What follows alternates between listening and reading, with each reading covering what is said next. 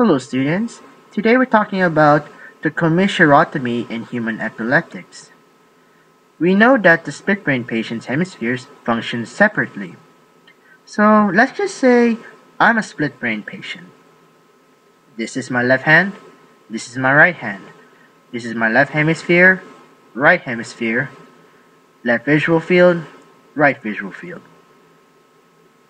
So, as far as we know, left hemisphere can't tell what he has seen.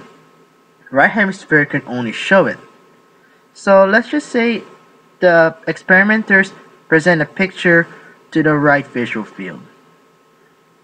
And it's at and it's from my left hemisphere. Over here, from left hemisphere to right visual field, I can see apple. My right hand can pick up the apple, but my left hand can't.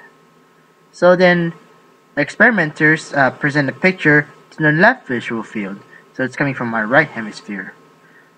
I can't. I I'm and I can't see it, so I'm gonna say I saw nothing. My right hand can't pick it up.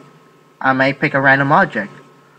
Um, on the other hand, my left my left hand can uh, pick up the apple.